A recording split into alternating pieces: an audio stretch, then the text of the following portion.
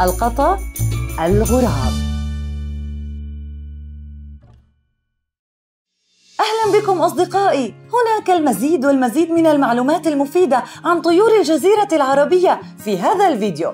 تابعوه معي. ولا تنسوا الاشتراك بالقناة ومشاركة رابط هذا الفيديو مع أصدقائكم وأحبائكم. سأحدثكم عن القطا الأبلق الطائر المغرد والدغناش. القطا الأبلق الطائر المغرد والدغناش.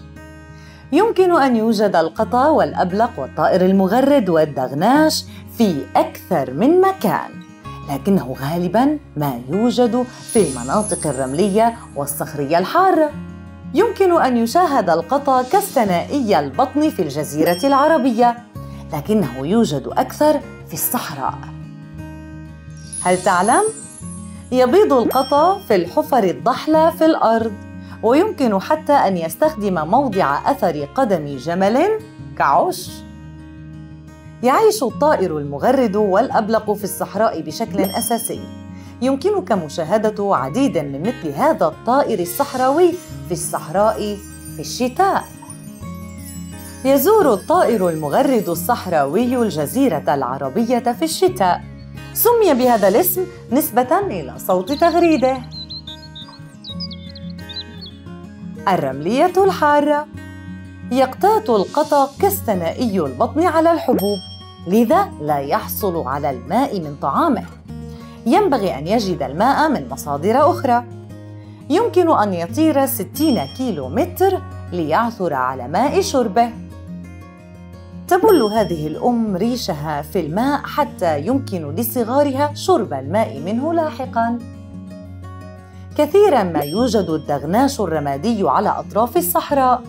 يأكل الحشرات والطيور الصغيرة والزواحف والثدييات الصحراوية مثل فأر العضم واليربوع.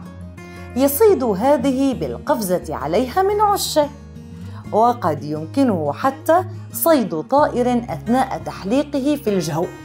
يعلق فريسته على شوكة طويلة بعد أن يصيدها مباشرة كي تثبت بقوة أثناء أكله لها.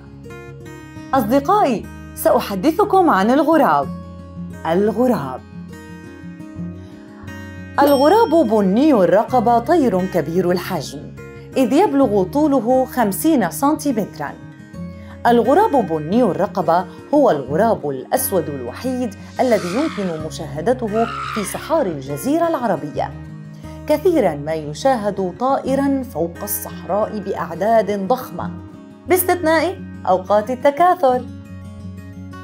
الغراب طائر ذكي يستخدم تيارات الهواء الدافئة ليدور في السماء هكذا. منقار الغراب بني الرقبة ثقيل. وذيله على شكل إسفين.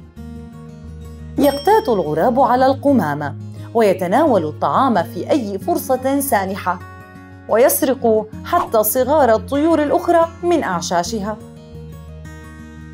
هل تعلم؟ غالبا ما يجد الغراب بني الرقبة أشياء غريبة لبناء عشه ويمكن أن يستخدم حتى الأسلاك النحاسية. يتكاثر الغراب بني الرقبه في الصحراء ويحب بناء عشه في المنحدرات الصخرية. لكن إذا فشلت في العثور عليها تبحث عن شجيرة مثل هذه. يبدو العش غير مرتب كما لو أنه لم يبنى جيداً. تبيض أنثى الغراب البني خمس بيضات زرقاء في هذا العش. سرعان ما يفقس البيض.